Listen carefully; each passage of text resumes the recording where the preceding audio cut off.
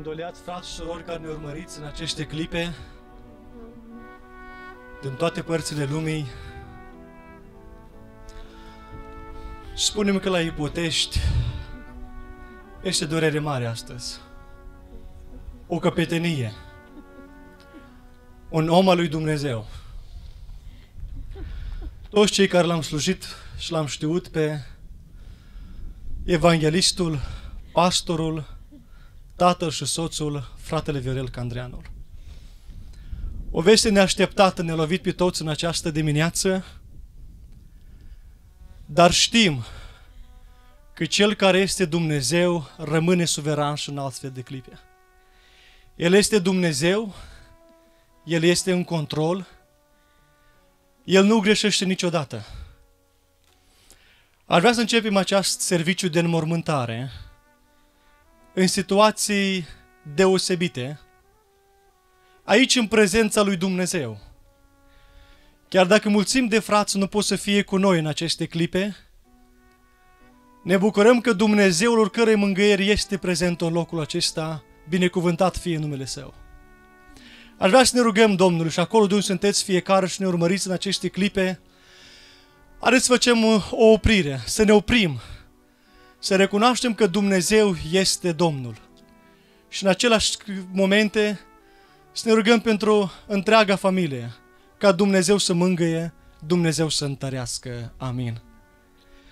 Părinte bun din ceruri, în tine în care zilnic ne este viața, suflarea și mișcarea. Și în aceste clipe când avem mulțimi de întrebări, noi știm că Tu rămâi pe tron, Tu ești Dumnezeu. Îți mulțumim pentru Domnul Isus Hristos, pentru răscumpărare, pentru numele scris în Cartea Veții. Îți mulțumim pentru toată lucrarea pe care a făcut-o fratele Viorel. Știm că acum este la Tine, Doamne. Te rugăm să mângâi familia, Doamne, pe sora Geta, fetele, întreaga biserică din Ipotești și fiecare unde se află, Doamne. Te rugăm Tu care ești Dumnezeul care mângâie, mângâie, Doamne întărește și sprijinește. Ne încredem în Tine că Tu ești păstorul nostru cel bun. Apelăm la Tine și îți mulțumim că ne asculți. Fii binecuvântat, Tată, Fiu și Duh Sfânt. Amin. În aceste momente și de dimineață m-am gândit la mai multe texte din Scriptură. Însă un cuvânt pe care vreau să lăs familie și tuturor celor care ne ascultă în 2 Timotei, capitolul 4, Apostolul Pavel, ca unul care știa că îi vinea aproape clipa. Cei care l-am cunoscut mai de aproape pe fratele Viorel, știam că era atât de pregătit. De atât de multe ori a spus, de atât de multe ori am venit cu dumnealui aici în cimitir, am învățat multe lucruri în ce privește slujirea și spunea frate Marcel, sunt pregătit. De atât de ori a spus aceste lucruri și familia confirmă. Dar mă gândesc la cuvintele Apostolului Pavel care atât de bine se potrivește în dreptul slujirii și veții fratelui Viorel. În 2 Timotei, capitolul 4, versetul 7 și 8 spun în felul următor. M-am luptat lupta cea bună, mi-am isprăvit alergarea, am păzit credința. De acum mă așteaptă cu nuna neprihănirii, pe care mi-o va da în ziua aceea Domnul judecătorul cel drept. Și nu numai mie, ci și tuturor celor ce vor fi iubit venirea Lui. Amin. Știm cu toții că fratele Viorel a luptat pentru înaintarea Evangheliei. Știm cu toții că a alergat de multe ori și mult, fără să obosească, familia știe cel mai bine toate sacrificiile, dar știm că fratele Viorel a luptat foarte mult pentru credință. A păzit credința și ne încredem în Dumnezeu nostru și știm că este în ceruri în prezența lui Dumnezeu. Avea în aceste momente, alături de familie, este și fratele Liviu Candreanu, fratele de corp, să aibă și Dumnealui un cuvânt de încurajare și mângâiere.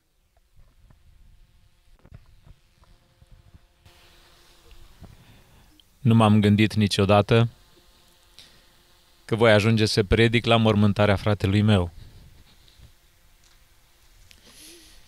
Dar astăzi aș vrea să vă mărturisesc cu durere că Dumnezeu este Cel care are toate lucrurile în control și El face tot ce vrea. Într-o vreme și într-o amploare a încercării de pe pământul acesta, Dumnezeu a hotărât să cheme acasă și pe cel ce a fost fratele meu mai mare. Mă rog ca Domnul să binecuvânteze pe Geta, fetele, să se îndure și de cei care nu ne sunt aproape.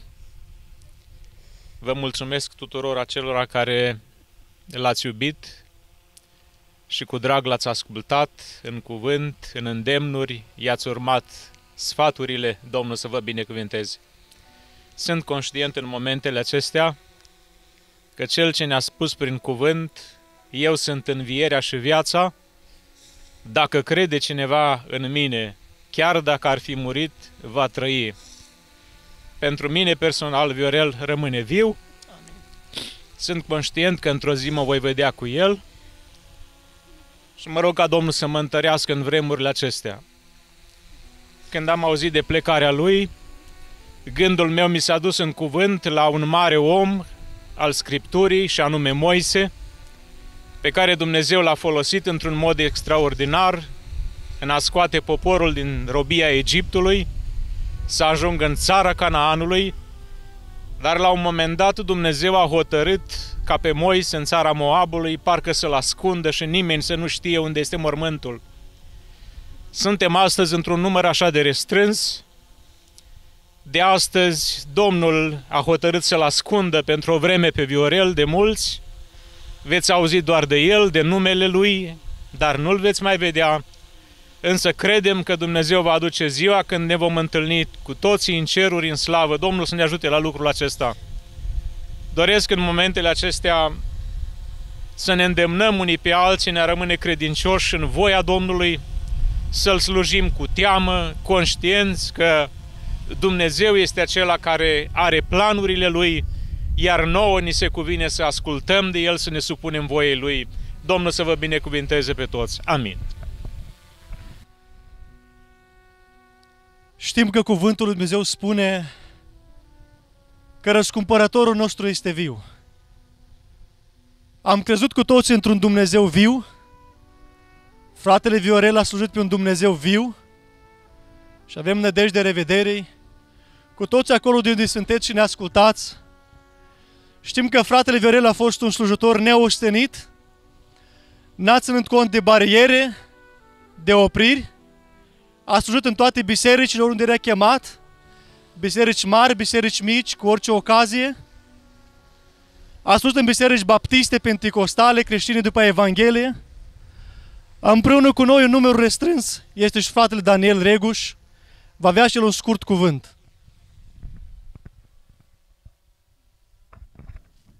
Iubită familie îndoliată, dorim ca Dumnezeu în aceste clipe atât de grele să vă mângâie. Luați cuvântul acesta ca din partea Bisericii Pentecostale din Ipotești, frații și surorile care m-au contactat v-au asigurat de sprijinul acordat în rugăciune ca Dumnezeu să vă ajute să treceți peste momentul acesta atât de dificil. Așa cum spunea și fratele Marcel, am avut o legătură și o frățietate deosebită cu fratele Viorel. De fiecare dată am avut multe lucruri de învățat de la el. A fost pentru noi un exemplu. Într-adevăr, poate vestea aceasta n-a șocat, dar aș vrea să vă zic că peste toate aceste necazuri, peste toată această durere care vă cuprinde în aceste momente, Dumnezeu este acela care va aduce mângâiere în dreptul vostru. Să aveți nădejde aceasta a învierii, nădejde aceasta a împărăției lui Dumnezeu. Ne uităm la contextul acesta în care trăim și parcă nu ne vine să credem, dar știm un singur lucru, că Dumnezeu va fi acela care ne va ajuta să mergem până la capăt. Domnul să vă ajute, Domnul să vă întărească, continuăm să ne rugăm pentru voi, ca Dumnezeu să vă dea putere și Dumnezeu să vă dea credință. Amin. din cauza condițiilor deosebite, trebuie să încheiem. Știu că frați din toată țara, din Uniune, și fratele Iuga și fratele Paul Negruț, toți mi-au trimis mesaje, familia va primi tot buchetul de mesaje într-un dosar bine adunat. Aș vrea să închei cu un ultim gând. Un cuvânt la care m-am gândit în dimineața aceasta, din cartea de Autoronom, capitolul 34, versetul 5. Moise, robul Domnului, a murit acolo în țara Moabului, după porunca Domnului. Amin. Cu toții știm că robii Domnului nu mor când vor ei, nu vor cum vor ei, ci mor la porunca lui Dumnezeu. Oamenii mari al lui Dumnezeu au avut parte de înmormântări deosebite. Dumnezeu i-a făcut parte de înmormântare doar lui Moise și chiar în condițiile acestea deosebite știm că Dumnezeu l-a iubit, îl iubește și întreaga familie și rugăm Domnul să reverse mângâiere. Amin. Trupul neînsuflețit va fi pus în țărână. Vom împlini și partea aceasta din cuvânt, că și țărână suntem și în țărână trebuie să ne întoarcem. Amin.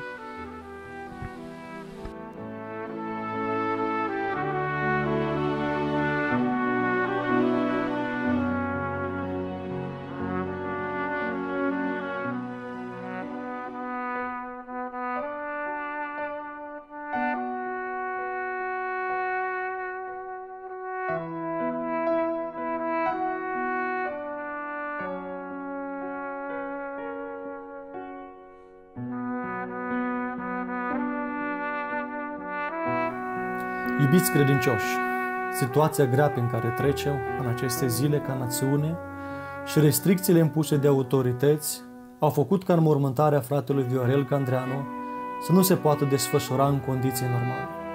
Niciunul din noi nu și-ar fi dorit asta, dar nu am avut de ales.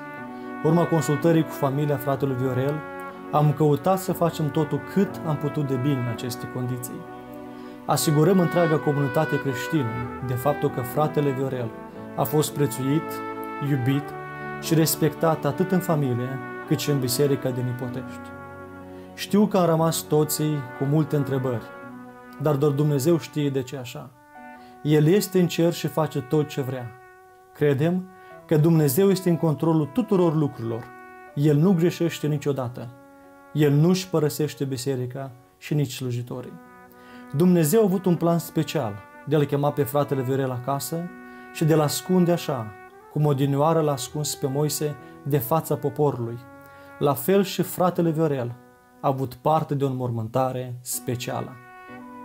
Ca urmare a plecării acasă a fratelui Viorel, Ipoteștiu și biserica din Ipotești este mai săracă cu un om, care a iubit biserica, care a iubit lucrarea lui Dumnezeu, dar în același timp și comunitatea fraților credincioși, care au plecat deja la Domnul, s-au îmbogățit prin întâlnirea cu cel care a slujit atâția ani. Fratele Viorel a fost un păstor și evanghelist, care a slujit pe plan local, național și internațional. Chiar dacă lucrătorii sunt chemați la Domnul, biserica rămâne să-și îndeplinească chemarea.